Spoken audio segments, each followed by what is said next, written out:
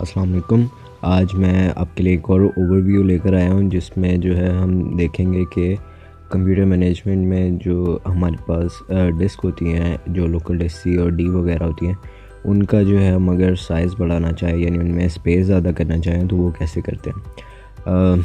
तो हम, हमारे पास यहाँ पे पहले स्टार्ट विंडो आ रही है।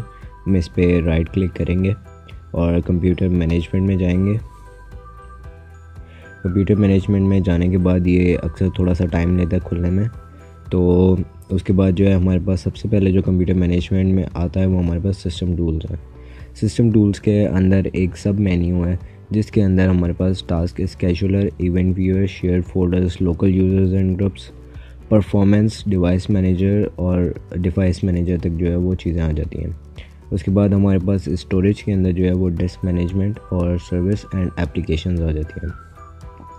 हमने जो चीज़ें देखी हैं, वो टास्क स्केजुलर है, लोकल यूज़र्स एंड ग्रुप्स है, परफॉर्मेंस है, और जो, और डिस्क मैनेजमेंट है। डिवाइस मैनेजर जो है, वो एक सेपरेट वीडियो बनाऊँगा मैं, और उसमें जो है, मैं डिवाइस मैनेजर के बारे में बताऊँगा। तो सबसे पहले देखते हैं हम टास्क स्केजुलर टास्क स्केजुलर एक बहुत ज़बरदस्त चीज़ है विंडोज़ टेन में तो नहीं है, बाकी सारी विंडोज़ में भी पहले भी थी। ये मैंने भी आज पहली बार देखी है। कि आप जो है कोई भी टास्क आप जो है कंप्यूटर को असाइन कर दो और वो उस टाइम पे अगर एक्टिव होगा, यानी अगर कंप्यूटर ऑन होगा तो वो ख़ुद ब खुद जो है वो टास्क परफॉर्म कर देगा। जैसे कि आजकल एलेक्सा वगैरह या अमेज़ोन की ये डिवाइस है एलेक्सा मेरे ख्याल में। आप जो है उनको ब्लूटूथ से जो है अपने घर से कनेक्ट कर देते हो या अपनी एक रूटीन स्केजूल कर देते हो। तो वो जो है उस स्पेसिफ़िक टाइम पे जो आपने टाइम बताया, उस टाइम पे जो है वो आपका काम कर देती हैं। तो इसी तरीके से ये कंप्यूटर भी है। आप जो है इसमें कोई भी टास्क को स्केजूल कर दो तो वो आपका काम जो है वो कर देगा। तो सबसे पहले हमारे पास यहाँ पे एक ओवरव्यू आ रहा है टास्क स्केजूलर का। उसके बाद हमारे पास टास्क स्टेटस आ रहा है कि इस वक्त जो है वो कौन सा टास्क चल रहा है। तो इस वक्त क्योंकि मेरे पास कोई टास्क चल नहीं रहा है, इसलिए यहाँ पे टास्क स्टेटस जो है वो ज़ीरो आ रही है। तो टास्क स्टेटस को मैंने अभी बंद कर दिया और मेरे पास यहाँ पे एक्टिव टास्क आ रहे हैं। जो तकरीबन एक्टिव हुए हुए हैं कि जो काम कर रहे हैं, पीछे काम कर रहे होते हैं। आपने कभी सोचा होगा कि जो माइक्रोसॉफ्ट की जो विंडोज़ हैं, वो ख़ुद ब खुद अपडेट कैसे हो जाती हैं? या जो सॉफ्टवेयर की अपडेट्स हैं, वो कैसे आ जाती हैं? वो ख़ुद ब खुद अपडेट्स कैसे होती हैं? तो वो टास्क स्केजुलर का काम है। यहाँ पे हमारे पास शोर है कि हर दिन जो है आठ बज के छियालीस मिनट पर सुबह जो है वो माइक्रोसॉफ्ट एज जो है, जो कि माइक्रोसॉफ्ट ने अपना एक सर्च इंजन निकाला है, वो रोज़ाना जो है वो अपडेट होता है। वो चेक करता है कि कोई नई अपडेट आई है या नहीं आई। उसके बाद गूगल है, वो भी चेक करता है। इसी तरह विंडोज़ भी जो है वो अपनी अपडेट्स रोज़ाना की बेसिस पे चेक करती है। इससे जो है हमारे पास रोज़ाना नए से नए जो है वो सॉफ्टवेयर आ जाते हैं। तो ये हमारे पास एक्टिव टास्क थे। अगर आपको कुछ ना मिल रहा हो तो आप रिफ़्रेश भी कर सकते हैं।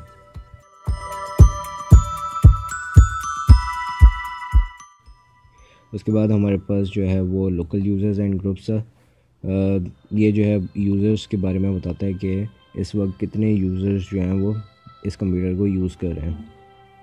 तो यहाँ पे जो है वो आपका नाम आ रहा है कि गेस्ट यूज़र है एडमिनिस्ट्रेटर है, यानी एडमिनिस्ट्रेटर के पास जो है वो यूजुअली फुल कंट्रोल होता है। और जो गेस्ट होता है, वो जो है उसके पास एडमिनिस्ट्रेटर वो डिसाइड करता है कि गेस्ट के पास कौन से कंट्रोल्स आने चाहिए और कौन से कंट्रोल्स नहीं आने चाहिए।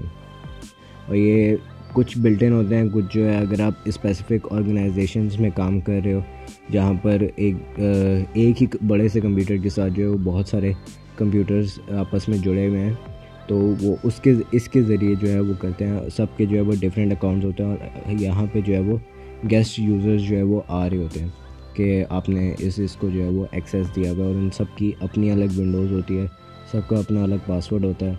आप चाहो तो उनको हटा भी सकते हो, आप चाहो तो उनको कंट्रोल्स भी दे सकते हो, आप चाहो तो पासवर्ड लगा सकते हो, उनके पासवर्ड चेंज कर सकते हो पासवर्ड लगाना चाहो तो लगा सकते हो और उनको जो है वो उनको डिलीट भी कर सकते हो।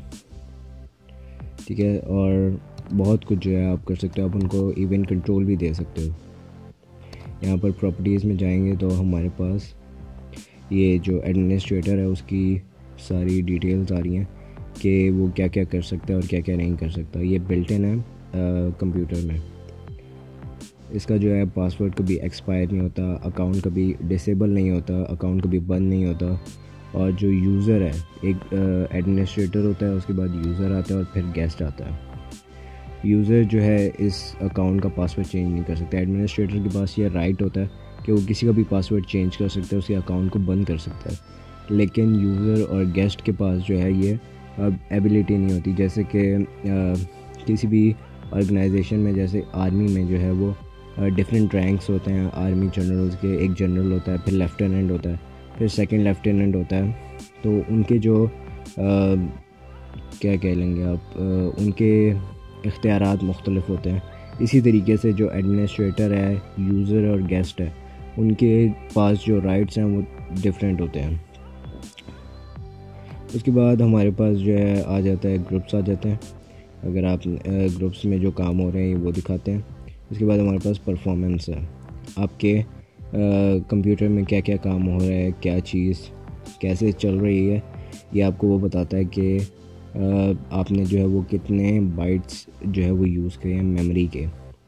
कि मेमोरी और सबसे पहली बात तो यह है कि मेमोरी में और जो हार्ड डिस्क है स्टोरेज में, उसमें बहुत बड़ा डिफरेंस होता है, जो कि बहुत से लोगों को नहीं पता, लेकिन जो है इनमें डिफरेंस होता है कि मेमोरी जो है वो आपका टेम्परेरी डाटा स्टोर करती है। वो आर्जी तौर पे जो है आपका काम जो है वो अपने पास रखती है। लेकिन जैसे ही वो कंप्यूटर बंद होता है वो उसको फ़ौर जो है वो डिलीट कर देती है। जैसे कि अभी ये मेरे पास कंप्यूटर मैनेजमेंट खुली हुई है तो ये मेमोरी में खुली हुई है। अगर हम जो है कंप्यूटर को बंद कर देंगे तो ये भी बंद हो जाएगी। और अगर आ, लेकिन जो है स्टोरेज उसमें अगर हम काम करते करते जो है वो कंप्यूटर को बंद कर देंगे तो वो उधर ही रहेगा हार्ड डिस्क में स्टोर रहेगा। हम जब दोबारा खोलेंगे तो वो वहीं पर मौजूद होगा। लेकिन अगर हम कंप्यूटर को दोबारा खोलेंगे तो ये जो पेन हमारे पास शो हो रहा है कंप्यूटर मैनेजमेंट का, ये हमारे पास शो नहीं होगा। इसी तरीके से मेरे पास जो है कैशे वॉल्स हैं अवेलेबल एम मेगाबाइट्स हैं नेटवर्क इंटरफेस है कि मैं कितना जो है डेटा जो है इंटरनेट का वो यूज़ कर रहा हूँ।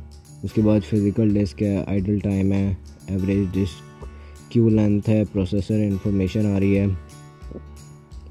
Parking status, processor time interrupt time ये सारी चीज़ें जो है वो कंप्यूटर आपको बताता है। लेकिन हमने कभी खोल के नहीं देखी। डिवाइस मैनेजर है, इसमें बहुत सारे जो है आपके पास जितनी भी चीज़ें हैं, जैसे एलसीडी है डिस्प्ले अडाप्टर्स है ह्यूमन इंटरफेस है बैटरीज है बायोमेट्रिक डिवाइसेस हैं, ये इन सब के जो है वो आपके पास यहाँ पर ड्राइवर्स हैं। आप इनको अपडेट भी कर सकते हैं और जो है इनको डिली अनइंस्टॉल भी कर सकते हैं। और इंस्टॉल भी कर सकते हैं बहुत सारे ड्राइवर्स को आप। खुद से। और वो इंस्टॉल होने के बाद डायरेक्ट यहाँ पे खुद ब खुद आ जाते हैं। ये जो है वैसे मैं अपनी अगली वीडियो में बताऊँगा। बस ये एक छोटा सा एक व्यू देना था इसका। उसके बाद जो हमारा असल टॉपिक है, वो है डिस्क मैनेजमेंट का। यह इस वक्त जो है मेरे पास लोकल डिस्क सी में ninety six point forty four six G B जो है वो अवेलेबल है। और सिक्स फिफ्टीन और five eighty seven M B जो है वो अनएलोकेटेड है यानी कि अभी वो आ, मैं किसी को भी आ, इसको मैं या तो जो है नया वॉल्यूम भी नहीं बना सकता और ना ही इसको मैं किसी दूसरे वॉल्यूम को लोकल डिस्क को जो है वो अलाउ कर सकता हूँ। ये पता नहीं ए, क्या हो गया इनको। उसके बाद मेरे पास न्यू वॉल्यूम डी है जो कि इस वक्त मेरे पास जो टोटल है वो one thirty four point seven six G B है। आ, मैंने इसको ख़ुद ही जो है ज़्यादा वो स्पेस एलोकेट की हुई है क्योंकि मुझे ज़्यादातर इसकी ज़रूरत होती है। लेकिन हमारी अक्सर जो है वो ज़्यादातर चीज़ें, क्योंकि डाउनलोड भी करें तो वो लोकल डिस्क सी में जाती हैं। इसलिए जो है लोकल डिस्क सी जल्दी भर जाती है। उसके लिए अगर आपने एलोकेट करना हो तो ये वाली जो ब्लैक जिस पे अनएलोकेटेड लिखा हुआ है, इससे जो है आप किसी भी ड्राइव को जो है वो स्पेस जो है एलोकेट कर सकते हैं। लेकिन वो, ये सिर्फ़ तब होता है जब वो किसी ये जो अनएलोकेटेड है ये किसी डिवाइस लोकल डिस्क के राइट साइड पे है। यानी जहाँ यहाँ पर अगर 615 फिफ्टीन है अगर यहाँ पर ये 501 एमबी आता है अनएलोकेटेड यहाँ पर आता है तो ही मैं लोकल डिस्क सी को जो है वो स्पेस एलोकेट कर सकता हूँ वरना मैं नहीं कर सकता। और इसी तरीके से न्यू वॉल्यूम डी भी है। अगर इसके राइट साइड पे अनएलोकेटेड वाली आ, आ, बार आती है तो मैं इसको जो है वो स्पेस एलोकेट कर सकता हूँ, वरना नहीं कर सकता।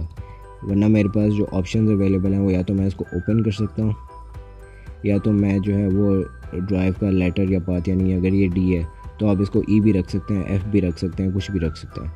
आप इसको टोटली उड़ाना चाहते हैं, इसमें जितना भी डाटा है, उसको क्लियर करना चाहते हैं तो वो भी कर सकते हैं।